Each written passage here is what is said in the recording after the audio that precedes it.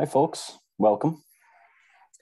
We're just going to give a, another minute or so here for any stragglers making their way back to the desk or couch if you're remote. Maybe go get some popcorn.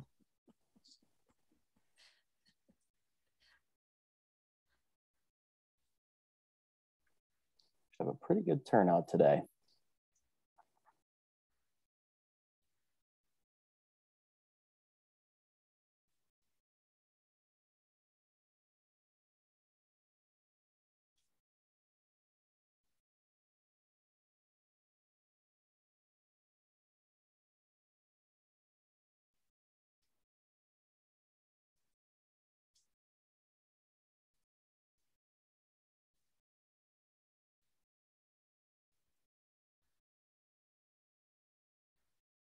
Hi, Wendy.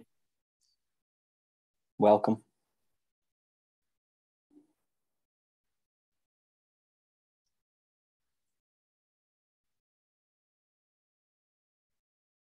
All right.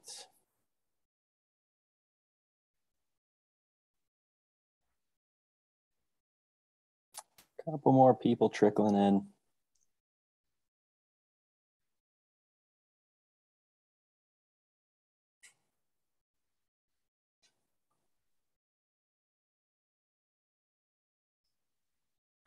All right. Good afternoon, everyone, and welcome. Thank you for coming in today for this month's webinar, Excel Beyond the Basics. There's going to be a lot of good stuff in here to beef up your Excel repertoire. My name is Jacob. I'm an account manager here at CompuWorks and an avid Excel user myself. Um, I always learn something new with these, so I'm really excited to uh, see what's in store today, especially with the Beyond the Basics edition here. Um, while we've got this great turnout today, I'd like to mention our upcoming event, and that's Word 101. So that will be July's event on July 26th there. So uh, be sure to check that out. That'll be the first of our Word edition, and then I'm sure we will have our Beyond the Basics following that eventually. Um, during the webinar, just some uh, quick pieces of etiquette here. We encourage questions, you know, and you can ask these either via the uh, the Q&A button at the bottom of your screen or the chat button right next to that Q&A button there. We'll try and get as many questions answered during the presentation, but we will have some time after for any ones that we missed there didn't spot. Uh, for those of you don't know, cameras and microphones are automatically disabled for webinar mode, uh, so you don't have to worry about muting yourself or any other instances there. Usually the day after our presentations, we email a survey to all the participants and we usually appreciate um, some feedback, you know, on however you might think we can improve there. And as always, hosting alongside me today is CompuWorks founding partner, Alan Bauman. Alan. Uh, awesome. Thank you, Jacob, and welcome everybody. Wow, it's really a fantastic turnout. You know, I think um, there was about 125 uh, registrations today, which is really terrific. And um, the only one I think comes close to this one was the the first team session we had at the kind of the the height of the pandemic. So a real interest in this topic today, and that includes me. Um, as uh, I've mentioned before, I, I always get a lot out of these. Doesn't matter how long I've used the product, I've you know always learn something, and usually a lot. So I'm excited about this this topic too. Um, I did want to just uh, put something out there for folks to, to consider. And you know, Jacob mentioned the survey that we send out, and you can expect to see that tomorrow. We know your you, you know email boxes get flooded with uh, with mail, and you may not have time to, to do that. But we do like to collect some feedback in terms of what you're interested in uh, as topics in, in the future. Um, so if anything comes to mind, you know, things that you've thought about, just enter them in the chat today, and we'll collect that information. It might just be a quicker, easier way to get that information from you. And the other thing I'll, I'll, put out there as a question to the group is, would there be interest in, um, we do these monthly now, would there be interest in a more frequent, um, you know, uh, cycle of these sessions? If we did one, you know, twice, twice a month, or maybe, you know, added one every two months, if there was some, you know, frequency that would be, you know, more than once a month, would that be interesting to you? I know everybody has busy schedules, so it's taking time away from from everything else. So just to, curious to get your feedback on that. Um, and so with that, I'm going to turn it over to Jolynn. And if you, any, if you guys have been on our calls before, you recognize Jolynn Reen. Uh, she has been teaching Microsoft apps since, uh, well, for, for a long time, since they were released, she says. So that's, that's quite a while, probably as long as me, maybe not quite as long as me. Uh, she's a certified trainer and Microsoft master instructor with over 30 years experience. She teaches on the basics to advanced features using programs like Teams, Excel, SharePoint, Outlook, and more. And one of the things that Jolynn does for us, which I, I love, and I, we get so many good uh, uh, feedback, so much good feedback on this, is uh, she generally will prepare a, a workbook that goes with each class. And so as we do with all of our sessions, you know, we're recording this session today. Um, this will be in our training library on our website, which is compuworks.biz um, and we'll include you know, not only the recording but the associated workbook that goes along with that. So it's a great resource if you know friends, colleagues couldn't make this, you want to share that with them, you know, feel free to do that. And I'll also reiterate that you know we we, we this this is really something that we invite our our clients to, but um, you feel free to invite folks that you know. If you have colleagues that you think would benefit from this, feel free to share the link. Um, if you know people that would be interested in this and want to get on our email list, you can do that really on any page on our website. There's a sign up button and you know your friends are our friends. So feel free to pass that along to, to everybody else. And without any further ado, Jolynn, good to see you again. Sounds good. Thank you, Alan and Jacob. So welcome everybody to Excel Beyond the Basics. Um, I want to jump right in because there's a lot of different topics that I really want to discuss today. Uh, just so everybody knows that I am using the 365 version of Excel, um, but I'm actually using the desktop version today. Uh, the desktop version, of course, is the uh, version that will have all the bells and whistles, uh, although the online version does have a lot to it. And most of the things that we talk about are available in the online version as well. Um, but the first thing that I actually want to talk to you about today is going to be using uh, different types of named ranges. Named ranges is a feature built into Excel that I hear people say, yeah, I kind of tried them and I wasn't quite sure if I would use them or not, or I don't understand what they are at all or what their benefit is. So the first topic today is going to be named ranges because named ranges really carry over to other elements that we do in Excel.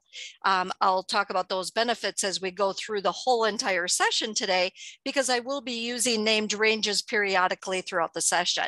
So first off, a name of a cell is typically what you refer to as an example of G2 we refer to it as the column letter, the row number, and everybody understands that. At the top left, underneath the ribbon, you find the name box. The name box always tells you the name of your active cell. But we're going to take that a lot further today because what happens with that named cell is sometimes we actually want to use a range of cells in a formula. And sometimes we want to copy that formula and only refer to a specific cell in that formula. You may be familiar with the term absolute reference. If you don't know the official name that Microsoft calls it, um, using dollar signs to lock down a cell in a formula so that when you copy it, it will stay on that specific cell.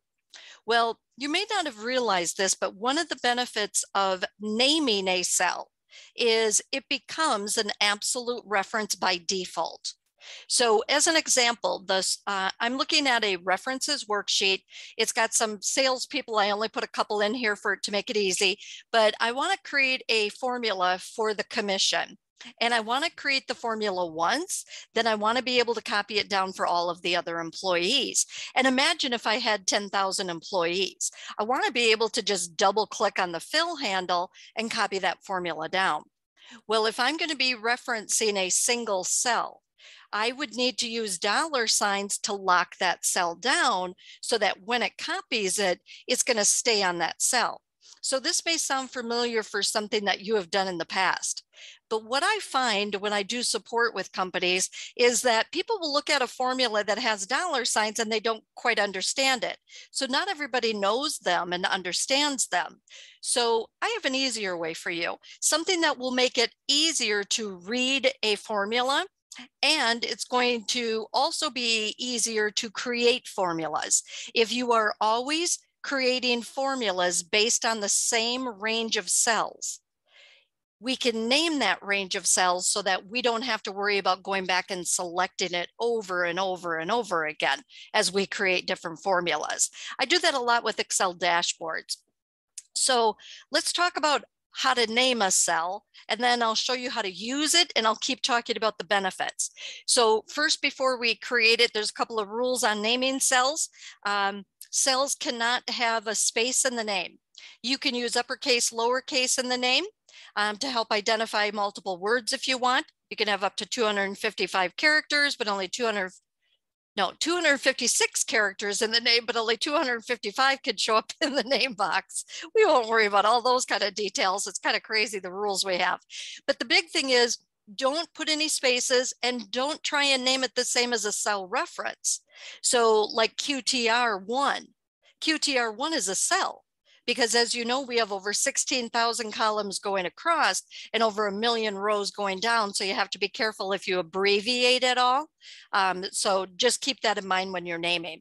So I'm going to click on G2 and I'm going to name this cell commission rate by clicking in the name box. This is one place that I can go to to name a cell. So I'm going to physically type commission rate.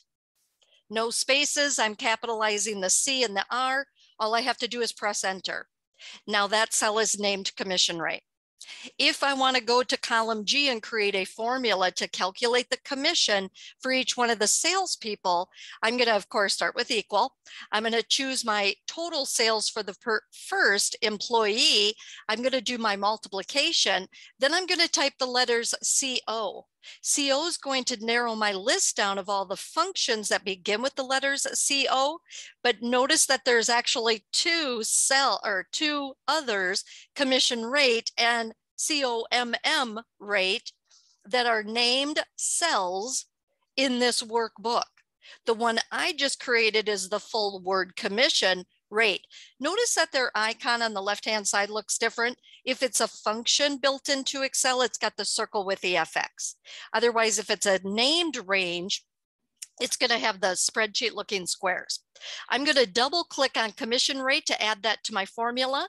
Notice that it automatically color codes with that cell G2. I'm going to control enter to stay on that cell. I'm going to copy that formula down for the other employees, and each one of these will then read taking that total sales multiplied by that commission rate. So right away, that's easier to understand what the formula is doing. Plus, I could copy it down without having those dollar signs. So if the commission rate changes on cell G2 to 6%, all of the formulas related to it will update. Even formulas that are on different worksheets.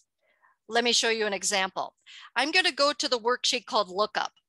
And I want to create a formula that's going to be based on that percentage coming from the references worksheet. So I'm going to say that I want to take the earnings from D6 and divide it, no, I'm sorry, multiply it by commission rate. I'm going to do the same thing. That CO, I'm going to double click on commission rate. It's reading the commission rate from the other worksheet. If I do control enter, I'll stay on that cell and the formula is calculating based on that commission rate back on the other worksheet. Therefore, a named range, named cell, can be used in any of your worksheets within that workbook. And let me take this just a step further. Another benefit is we can navigate by a named range.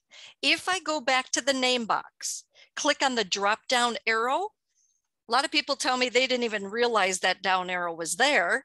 But if you click on that down arrow, you're going to see a list of named ranges that are active, keyword active in this workbook. If I click on discount table, it's going to take me directly to the worksheet to the range of cells that it has been named discount rate. Discount rate. So pretty cool how all this works together. So named ranges are going to be extremely beneficial if you're going to be navigating, you want to copy a formula, you want a formula to be easier to read. But let me go to the orders worksheet. And I'm going to be creating a couple of formulas that are going to be based on all of the numbers in the extended price column. And I don't even know how, well, I know, but you may not know how long that column is, how many rows of data are there. So what I'm going to do is I'm going to name the range of cells and I'm going to call it extended price, just what it is. And then I can use them in formulas. So I'm going to go to cell I2. I'm going to select all the way down to the end of my numbers by doing shift control down arrow. Shift control down arrow is a keyboard shortcut that we can use to navigate and select at the same time. Shift control down arrow.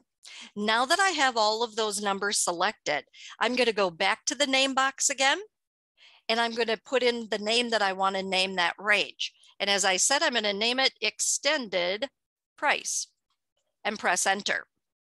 So now that I have that range of cells entered, if I want to do a little summary analysis and do different calculations that are based on that extended price, I don't have to actually go back and keep selecting it. All I have to do is create the formulas and put in that named range. So I'm going to actually create a formula that's just going to do a sum of all of the extended price. So I know everybody knows how to do the auto sum. That's pretty basic.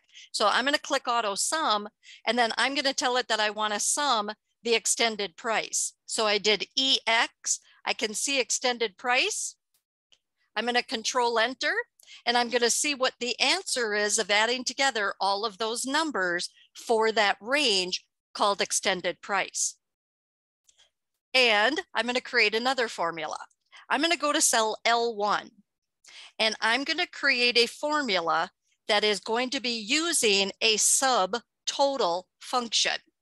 Now, if you're not familiar with all of the different functions that are built into Excel, if you go to the formulas tab of the ribbon, you're, you're going to find a function library group with all the different categories of the different functions.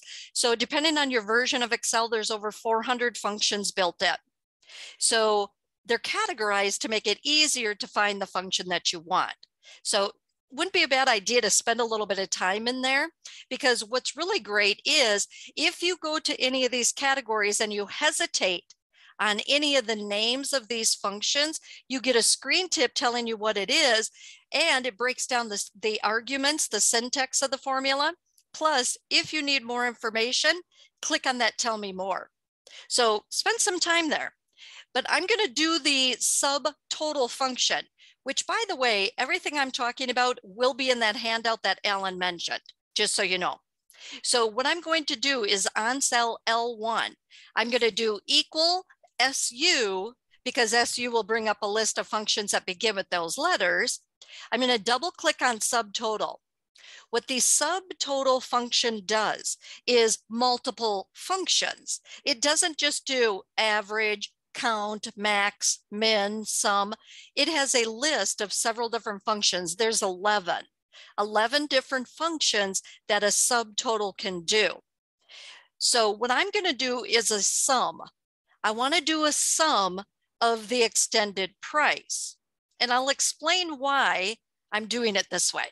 So what I'm going to do is double click on the 9 dash sum. 9 is a hidden code to the computer. You know, it reads numbers. um, a hidden code to the computer to let it know that I want to do a sum. So after that, I have to separate it, my arguments with a comma. Then it wants to know what are the cells that I want to add together. And I'm going to use that same extended price, that named range called extended price. I'm going to control enter. I get exactly the same answer. So why would I ever want to use a subtotal function instead of an auto sum or the sum function itself if I'm going to get exactly the same answer? Let's see why. We have a range of data in this worksheet that is a bunch of company orders. You could have 10 rows of data, you could have 400, you could have a million rows of data. It doesn't matter. Usually you want to analyze that data in some way, shape, or form. And a very popular option is to filter and sort that data. So I'm going to click anywhere within my range of cells. My data, my data source is what I usually call it. So once I'm within my data source, I'm going to turn filters on by going to my data tab of the ribbon. I know you could do it from the home tab also, but I do it from here because it's more easy. I just try and find the most efficient way to do things. So I'm going to click on the filter icon. From here, it's yes. Sorry, a quick question no. here from Peter. Yes. He says, what if I add information to the extended price after naming the range? What a great idea. That's going to depend on how you add it. And that's actually a super good question because if I go to the bottom, unless it's a table, unless it's actually turned into a table, which that's another session, but um, it would add it if you had it as a table and you added it to the bottom. But in this case, if you insert a new row, it can be added then to your data. If you're adding it in between existing, but if you add it to the end, it's not just going to magically add it. You would have to go back and change things. Okay. So if possible, add it within your current range. Very good question. There's other tricks to that, but we'll save that for another day. so when I turned these filters on, it gave us drop down arrows for each of our column headings. And it doesn't matter that it's row one. It's really just looking at our connected data source where there's empty columns, empty rows of data, and it knows they're together. So what I'm going to do is I'm going to apply filters. Now, can I assume people have probably done sorting and filtering before? I'm going to take it a little bit further than your basic, um, but let me do it this way. I want to go to salesperson because this is a pretty common thing that can end up happening. Um, let's say I have this salesperson called Andrew Fuller, but somebody entered it as Andy. That's two different people. Andrew, Andy.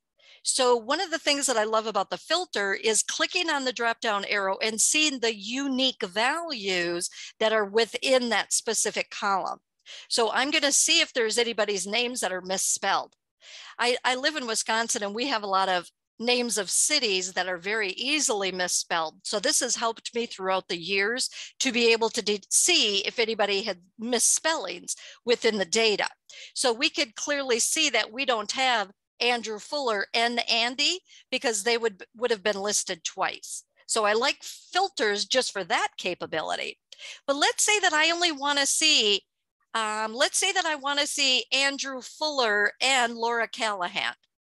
I'm going to unselect all. I'm going to choose Andrew and Laura Callahan, and I'm going to click OK.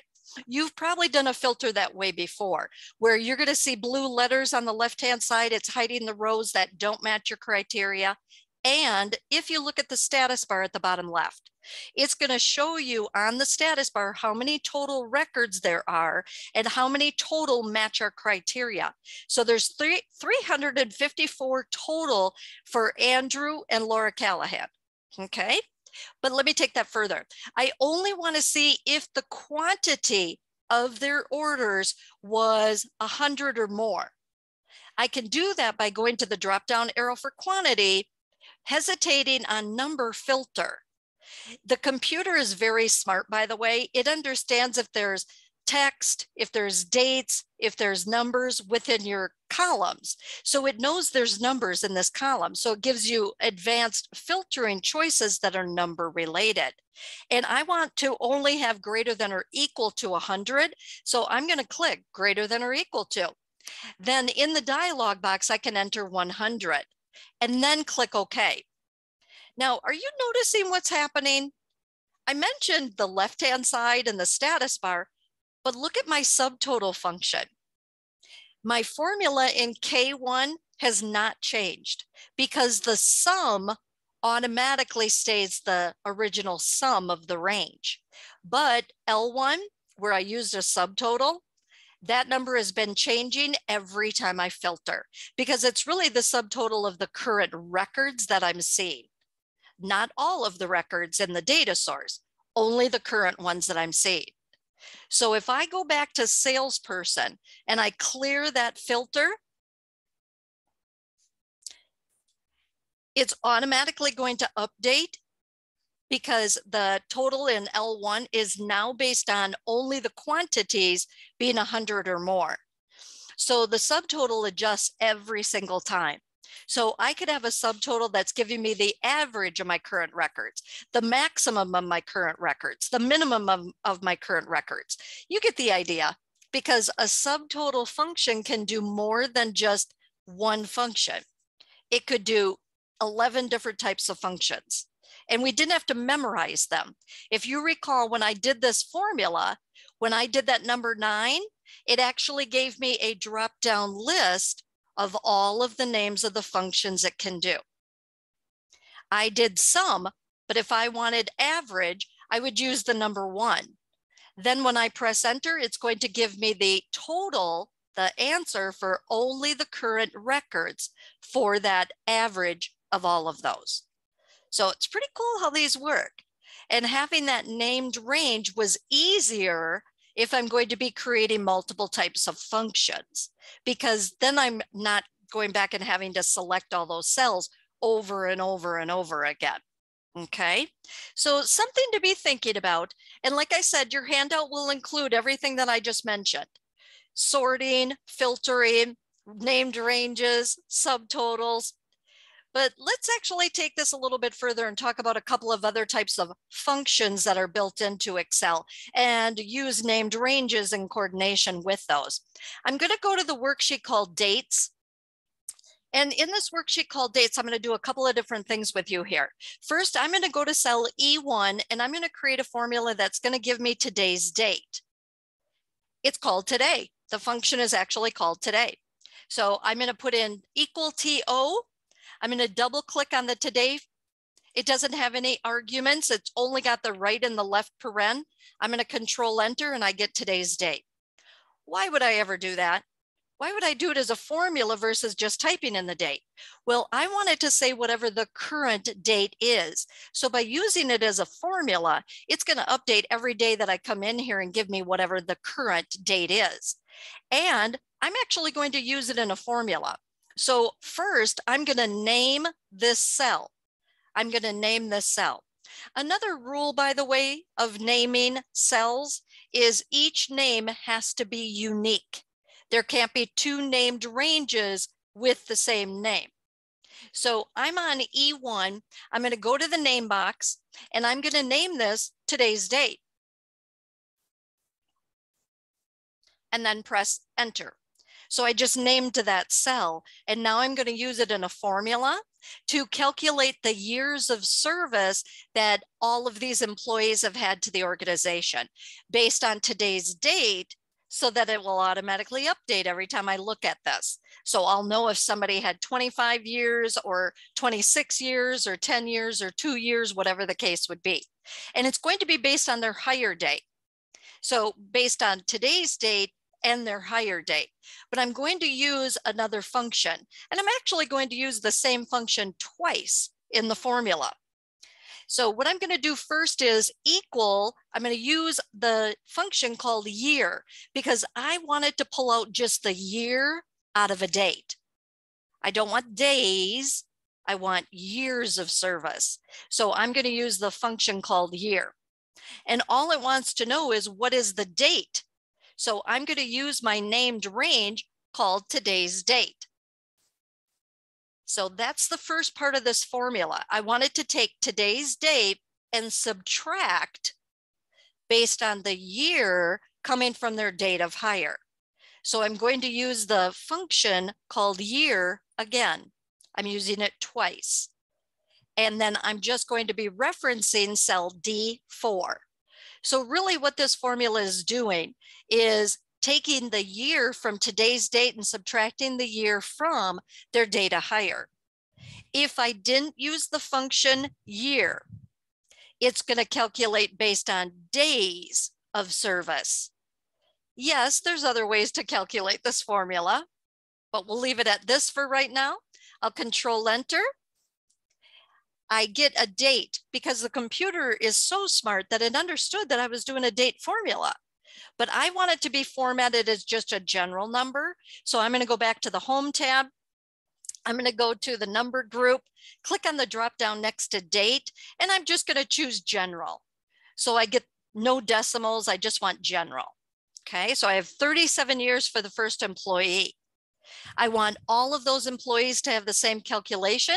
So I'm going to actually go to the fill handle at the bottom right of this cell, double click, copies the formula all the way down. Imagine if you had 10,000 employees, that calculation just copied all the way down.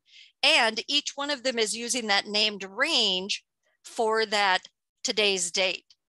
Okay, so it's smart enough to copy that down correctly. Otherwise, it would have gone from E1 to E2 to E3 to E4, etc., going down when you copy that formula. But because it was a named range, it was an absolute reference. Okay.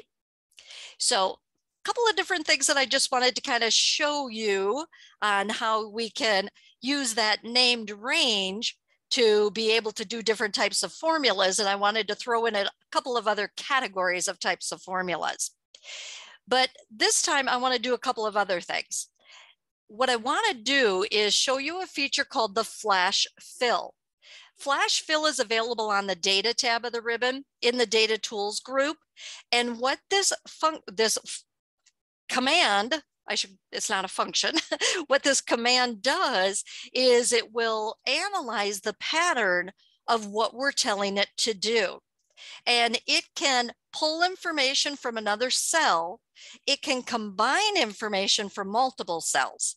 Let's see an example of how this feature called Flash Fill works.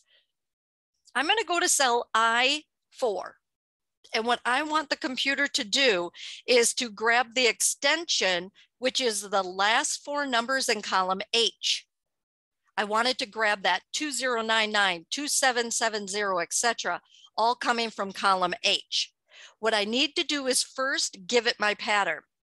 So I'm going to do 2099. I'm going to control enter to stay on that cell. I'm going to click on the icon for the flash fill from the data tab of the ribbon, and it follows my pattern all the way down. So it understood that there were numbers within my data source that matched this number. So it automatically has copied those down for me without me doing anything. I clicked on an icon. Another example, I'm gonna go to J4. And in that same column H, I wanna grab out the where it says lab, central, central, HQ, etc. I wanted to follow my pattern with that and populate, populate it all the way down. I'm going to do LAB for the first one for lab. I'm going to control enter again. I'm going to click on my flat flash fill icon and it automatically has copied those all the way down to the end of the employee list. It's really a great tool that we have built into Excel that we got a couple of versions ago. It is to me one of the best features that it has really come out in the past couple of versions. But let me show you how it really shines. If I go over to A4, if you look at this data source of employees, when it came out of the AS400 or wherever it came out of, um, or when it was hand entered, it came out with capital letters for the first name and the last name. And what we want to do is combine together the first and the last because we want to be able to see first name space last name. Or we could do last name comma space first name, however you want it to be organized. So what I'm going to do is I have to give it the pattern and I'm going to give it the casing I want. So I want it to be title case. I wanted to have a capital E for Erica, a capital D for Decker. So that's how I need to type it in. So the computer with the flash fill will follow my pattern. So I'm going to type in Erica space Decker. Control enter again. Then I'm going to click on my icon for flash fill. It automatically follows my pattern. And it followed my casing as well, which is fantastic that it does that. Now, you may or may not be familiar with a few other types of functions built into Excel called text functions. So back here on the formulas tab, if I go to the text group, there's formulas here that I could have used to do everything that I just did. Concatenate is a way that we can combine information together and put in different characters like commas. We have proper. Proper is how I could have changed it to the title case, or I could have said lower for lowercase. I could have used left to pull information from the left-hand side of a cell or right to pull things in from the right-hand side of a cell. So we could have done this with text, but if this data is not going to change, this is data that I'm going to use right now and it's not going to change, flash fill is easier. It's quicker. So I use flash fill most of the time. But if I know that this information is going to change regularly, I might want to do it with a formula because if we do it with a formula, it will automatically update. Let me show you what I mean. I'm going to go back to I4 and I'm going to change this to be a formula using a function called right, R-I-G-H-T. So I'm going to do equal R and I'm going to double click on the function called right. First, it wants to know what is the cell that has the text that I want. It's text related, even though I'm grabbing a number. So I'm going to click on H4 because that's the cell that I want to get the information from. Comma, I need to tell it how many characters from the right-hand side of the cell I want. And I want four. So I'm going to put in a four, I'm going to control enter, and it's going to give me the 2099. Notice that it left justified it because it's seen it as text. Because it's a text function, it saw it as text. Now, if I copy that formula down for all of the employees, I'm going to get the same answer. But the benefit to doing it as a formula would be if I go back to H4 and this person actually changed their extension, it's 3400. As soon as I update that 3400, the formula will update. If I kept it as the flash fill, it would not update. I would have to go back and re-flash fill it after I made the changes to the data. So I still love flash fill, even though it doesn't update. Sometimes I just go back and reflash fill it. It's not that big of a deal. But if you know the data is going to change regularly, you might want to consider the text related instead. Okay. Well, let's go to another formula. I'm going to go to the worksheet called lookup. Very common in Excel is to have a range of data like we were talking about with our orders, and we want to find something within that range of data. So maybe I'm the help desk in HR and somebody calls up and first thing we ask is, well, what's your employee ID number? We can type in that employee ID number and it's going to populate all the data related to that employee. Well, we have a couple of formulas that are already created using a function called a V lookup. V stands for vertical. So what it does is it looks vertically across the range of data. And it always is looking at the data, it has to look up the data coming from the column furthest to the left of the range of cells. And by the way, in the syntax of the formula, the range of cells is going to be called a table array. It's a fancy way of saying range of cells. we'll leave it as that for now. But if you look at my results data at the top of my actual employee information, I have a formula on B6 that is locating the person's name coming from column B of the data source. So what it's doing to break apart this formula is it's doing a lookup based on whatever ID is in A6.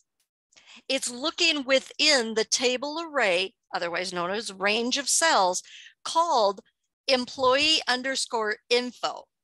Employee underscore info is a named range related to all of this employee data. Employee underscore info. And then it's looking in the second column of that employee data. So the second column is the name. When we think about that range of cells that we're having it look in, the employee ID is the first column, the name is the second.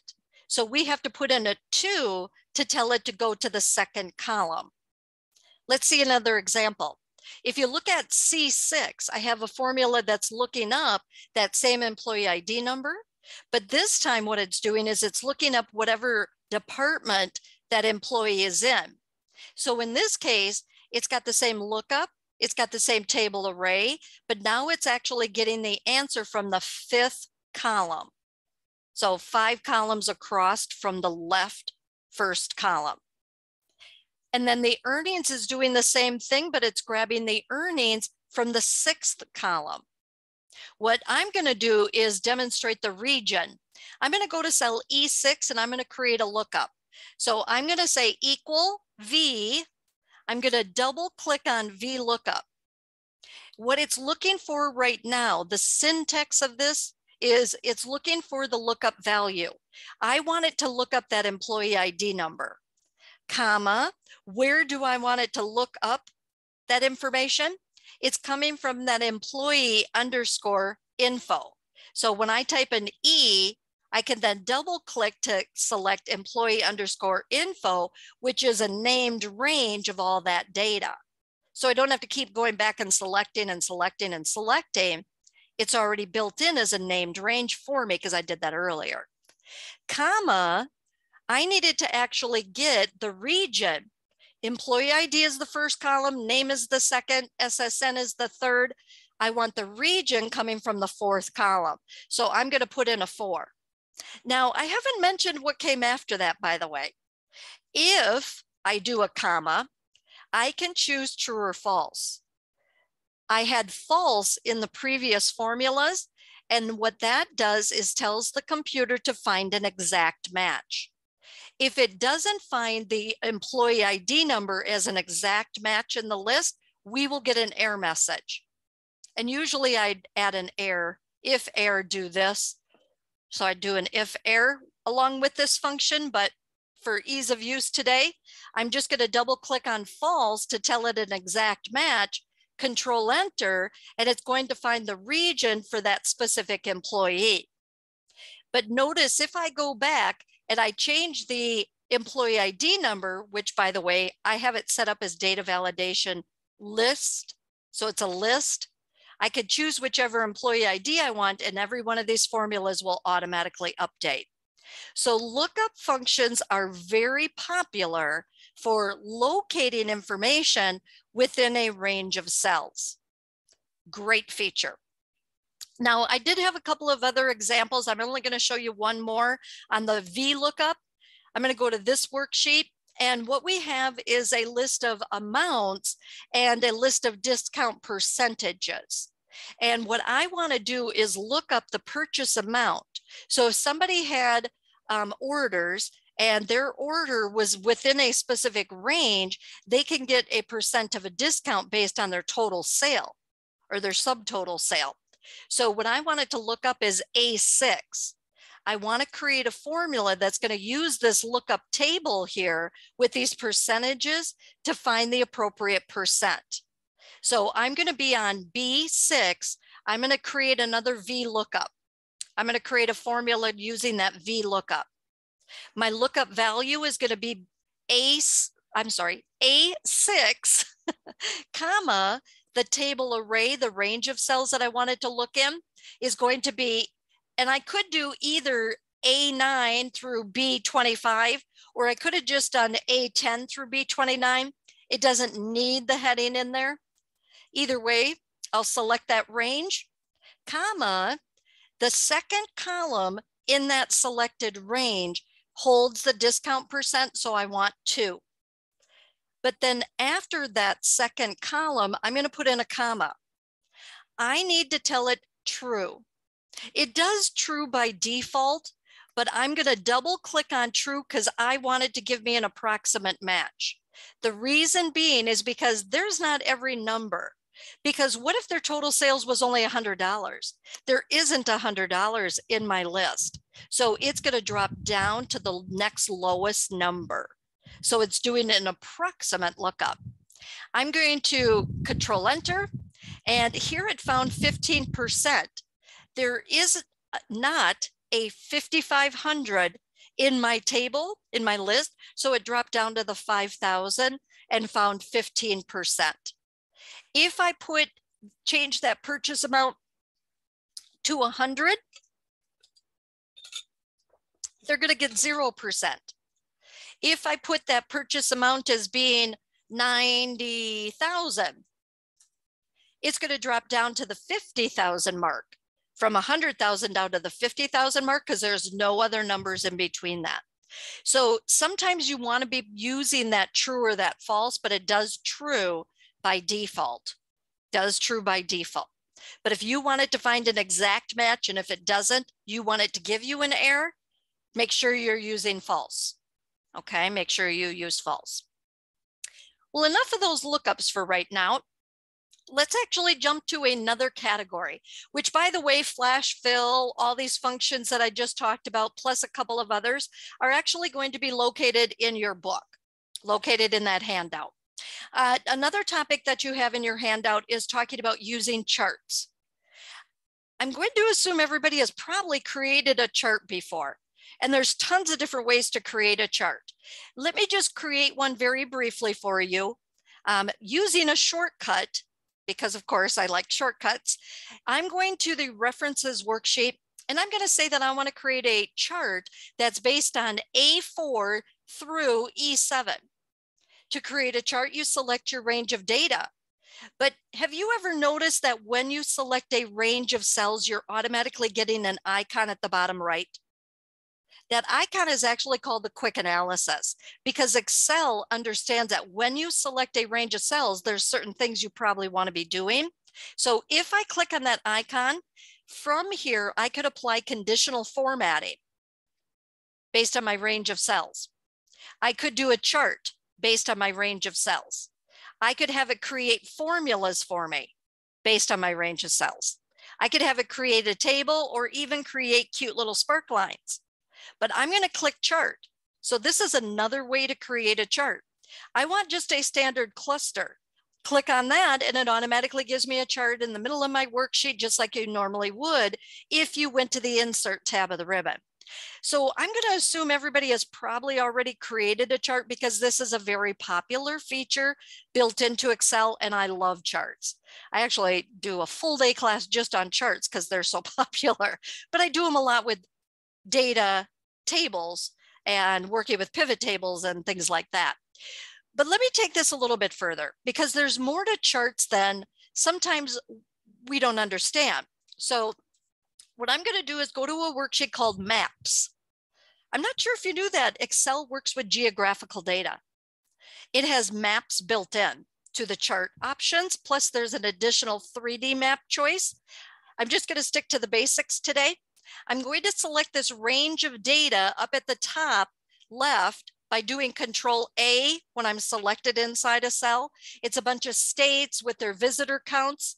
The computer is going to automatically create a map showing those states. By me going to the insert tab of the ribbon, in the charts group, I'm going to click maps.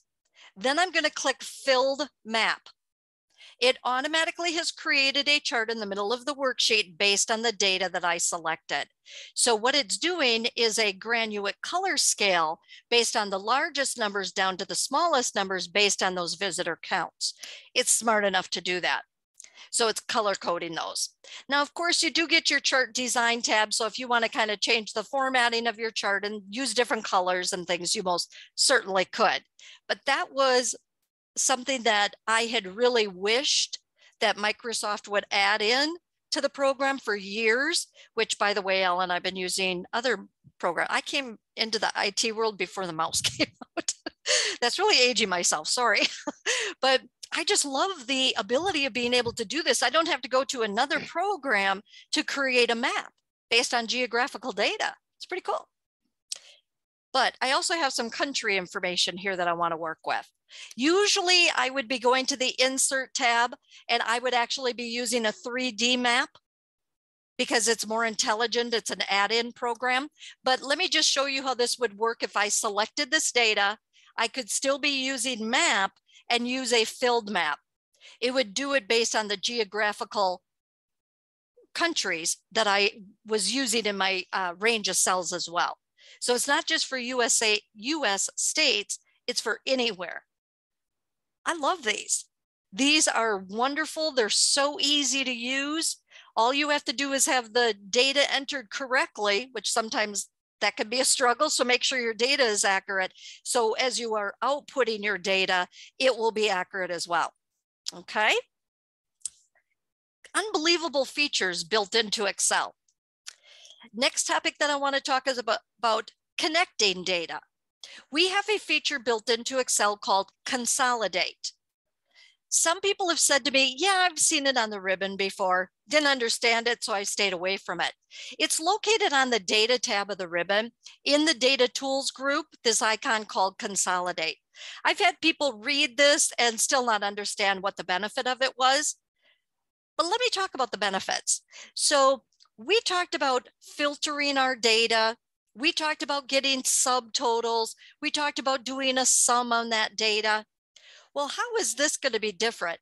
We talk about doing all kinds of different formulas, and formulas can go across multiple sheets, which when we do that, a lot of times they're called a 3D formula. So let me show you an example. We have two worksheets here, one called January calls, one called February calls. They're set up with the same call centers and the same hours, 9 a.m. to 9 p.m. Both worksheets are set up the same. I want to consolidate this data together. And I do this every year with my January through December data. I do this consolidate every single year. So I'm going to go to my January, February call totals. I have a blank area already set up that I'm going to be adding together all of the numbers from those other two sheets and put the answers here for each one of the call centers based on each of the hours. But before I do that, you may have created a 3D formula before, where if I have the totals for each call center, I could calculate those totals from the January calls and the February calls. I have it down here in row 14. This is a sum of each time frame. I'm going to add those together and put those here on the January calls, January, February calls. By going to cell C21, I'm going to create a 3D formula. I'm going to say equal. I'm going to go to January calls. I'm going to click on the total for 9 a.m. I'm going to do a plus. I'm going to go to the worksheet called February calls. I'm going to click on the total for 9 a.m. and I'm going to do control enter. Control enter is going to take me back to that worksheet where I started creating the formula. And because I did control enter, it stayed on the cell and it added together from the January calls C14 plus February calls worksheet C14. If you look at my formula bar, it gives you the name of the worksheet. So they call that a 3D formula. Well, because of the way these are set up, I can copy that formula across for each of the different time frames. So I'm going to take this formula, use my fill handle, copy it across for 9 p.m and it's going to give me the total for each one of those time frames for all of the different call centers. You may have done something like this in the past. What I don't like about what I just did was how do I know what the individual numbers are that are, that are making up this sum? I don't know right now. What are the individual numbers? Well, with the consolidate feature that we have built into Excel, we can. We can actually drill in and see the individual numbers that are going to make up the total. Let me show you how this works. How to, how to use this uh, consolidate feature. First, I'm going to select the blank cells, the blank cells where I want the answers to appear. They have to be the same number of columns across and the same number of rows going down. Then I'm going to go to the data tab, click on the icon called consolidate. In the consolidate, it can do more than just a sum, but up at the top, I have sum, average, count, max, min, those kind of things. I'm gonna leave it on sum. What I need to tell the computer is what is the range of cells from which worksheets do I wanna add together? So for me, I always do January through December. I add them all together. So I'm going in the references box, I'm going to click on January calls I'm going to select the range of cells matching that 9 a.m. to 9 p.m. And it's adding it to my references, that same range. I'm going to click the button for add to add it to the all references box. I do that for each worksheet that I want to bring in and consolidate together. I'm going to go to the February calls. It's smart enough to select that same range of cells, but if it happened to be different columns, I could go ahead and select those columns. But mine's exactly the same, so I'm going to keep that. I'm going to click add. So I could do that for, you know, March, April, May, June, all of however many I have. And they can be coming from different workbooks. Just so you know, I could go to a different workbook and grab cells. It doesn't have to be within the same sheet, work workbook, I should say. Could go to a different workbook. But I'm going to click this create links to source data because I want to be able to drill in and see what the individual values were coming from February and January calls. When I'm done, I click OK. I automatically see the answers of adding those numbers together from those two other sheets for each of the call times and the regions. On the left-hand side, I'll, you'll notice that I have missing numbers and I have num uh, plus signs next to it. This is called outlining. And what I can do is go to the number seven, which is the total for Northeast. I can see that it's actually adding together C5 through C6. Well, what numbers are those? If I go to the plus sign next to row seven, it expands it out. And if I click on either one of these numbers and look at the formula bar, I can see where the number's coming from. I know that that number is coming from the February calls. This number is coming from the January calls they're linked to those and I can drill in and individually see them because they might be coming from a different workbook. I can't just go to it and look at it. Plus, who wants to do that? I don't want to have to go there and find it and look at it. Here, I have it automatically and they're connected. So if the data changes, so if we go back and we got audited for February and I found out that C5 for the Northeast was really supposed to be 25,000. It's at 10,000 right now. I'm going to change that to 25,000. As soon as I press enter, it has now updated it back on the totals worksheet. So now it says 25,000. So everything gets updated automatically. If I don't need to see the individual values, I'll click on the minus sign next to seven, and it's going to shrink that value back up. So we can always be collapsing and expanding as needed with this data and it stays connected. But so does row 39 for me. So the total for 9 a.m. now updated because I did a 3D formula coming from those January calls and I changed the number. But here I just can't see what the individual values were. With the consolidate, I can. So for me, that has become a very popular tool that I've been using for quite a few years. You know, I don't even know. I think it might have been at least 18 years, 19 years probably that I've been using that feature. I think it's been out since the first version. We just didn't realize how important that feature was or how to really utilize it. So Excel has all of these wonderful tools built in. Encourage you to kind of look around and really just kind of see what it is that you need to be using to make sure that you're not doing things the long way around. There's a lot of different shortcuts and a lot of different ways to do things. So we can come up with lots of different ways to do things. There's never a wrong answer, but being more efficient is a good choice. Try and find an, the easiest way to do things, find the shortcuts. Named ranges is huge for me. So if you've never done named ranges before, highly recommend them. So Alan, do we have any questions from the audience today? You know, we, we do, um, Jolynn. Some of these I think we may have answered in chat, but I, I think they're they're good questions and we should probably share the answers. And the first one, a couple of people have asked where the handout will be located. And so just to sort of reiterate that, um, we have a training library on, on our website, which is compuworks.biz. Uh, just navigate to the training library. You'll see all of the past sessions that we've done. We should have this session up uh, there tomorrow, along with the workbook. Um, so you can uh, you can access it there. So another question on the map feature, which by the way, I had no idea that Excel did anything like that. So that was quite enlightening. Um, the question is, does the map feature go down to the state, county, city level or only nationwide? Let me show you. So if I have La Crosse County, and that's in Wisconsin, and I put in a value, just kind of throw just a couple of uh, uh, things out here.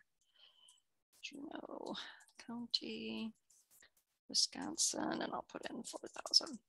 Let me throw that into a map here and show you what's going to happen. And I'll just use the same mapping program, filled map. It's pretty smart. Mm-hmm. Yep. so I found my two counties. Wow. And does it get right down to the city or what's the smallest Yes, granular level city? Yeah. yes it does. Mhm. Okay. So Interesting cool. stuff. But it cool. needs to know because of course there's um, two La Crosse Wisconsin, uh, two La Crosses So we have to specify the Wisconsin in there because there's a Texas La Crosse as well and Mhm. Nevada. And so you have to make sure that you're specifying the uh, state with it. Yep. Okay. Okay. Very interesting. Thank you. Um, anybody else have any questions? Feel free to get them into the Q and A box here. Um, we do just have uh, one more at the moment, and this is maybe a little bit outside of the scope of the, the session. I don't think you covered this. You didn't cover this today, but the question was um, about the data validation. Data validation. Nation. Mhm. And uh, is, uh, uh, Nina asks, she says, uh, I'm curious about how to automatically color code lists if possible. color code lists. Um, depending on the color coding that you actually would like to do, um, data validation is more of validating the information that's being physically entered or that's already there. So it really wouldn't be data validation that would do the color coding. It would be more of the conditional formatting. So as an example, I'll just select these numbers. Um, if I wanted certain numbers to be uh, formatted, I would be going to my conditional formatting to do that whether it's based on top bottom numbers, it's based on different types of um, equal to, greater than, that kind of a thing. Or I could just be using data bars, color scales. That's all part of conditional formatting. Okay, but that's a great question. So data validation doesn't do color coding except for a red circle around things that are not valid. Yep. And we use this all the time, this conditional formatting in uh, Yes. dashboards that we um, we have. Yes. I think it's pretty common use for it. You know, you want certain ranges to light up in green and others to light up in red, and it just makes it easier to just look at it and at a glance, kind of kind of know how you're doing. Yes.